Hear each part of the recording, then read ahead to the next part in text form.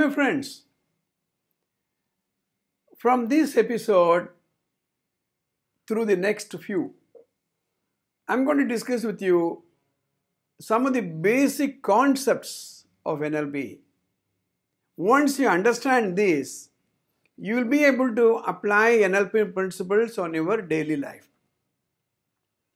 As I explained to you in the last episode, NLP helps you to understand human excellence. It helps you build a better rapport. In order to appreciate that, you should understand how the mind and brain work with each other. There are what are called presuppositions of NLP. Presuppositions. I'm going to discuss a few of them. Presuppositions are the principles on which the mind and brain work with each other. See, we are talking about this dyadic relationship. The relationship between two factors brain, mind. Right brain, left brain. Two wheels of a two wheeler. So, this dyadic relationship is very, very important. The way these two things work with each other is very, very important.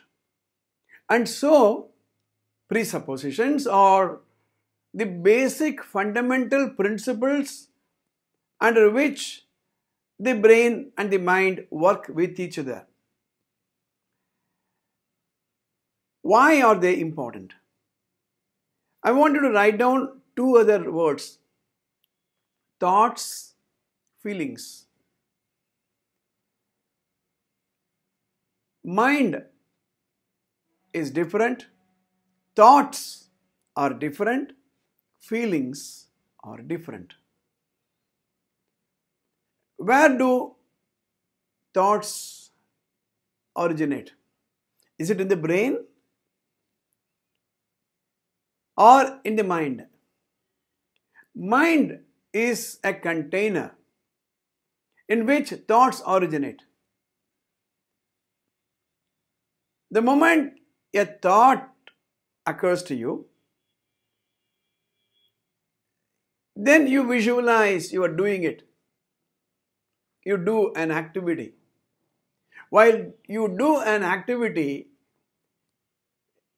you go through a feeling. For example, as I'm doing this episode, I feel like having a cup of water. A thought occurs to me.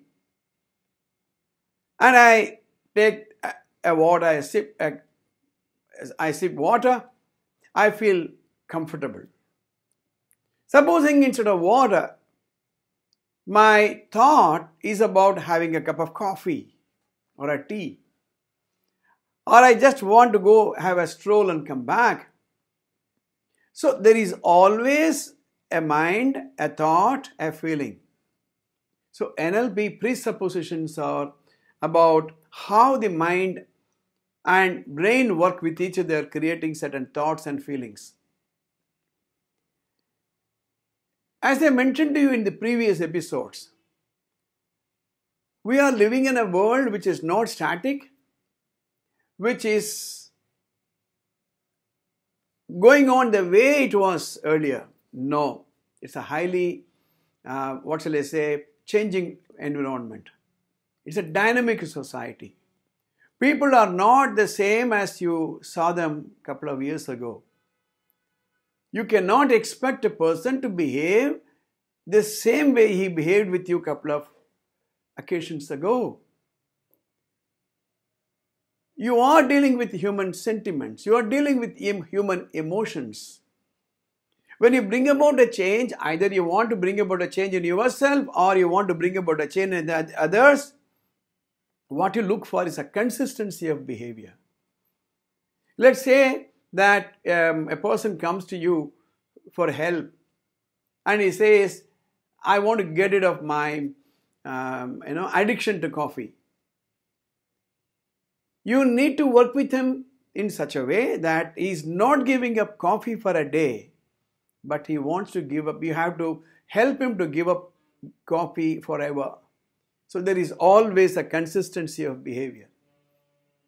In my organization seminars, I'm invited to change the mindset of people. For example, you have to introduce, um, let's say, a quality system, or you want to introduce a productivity system which is new, or you want to introduce a total quality management, or you want to introduce uh, what is called an um, ISO 9000. It calls for a completely different type of behavior, a different pattern of behavior. People should believe in it. Especially a movement like uh, TQM, Total Quality Management.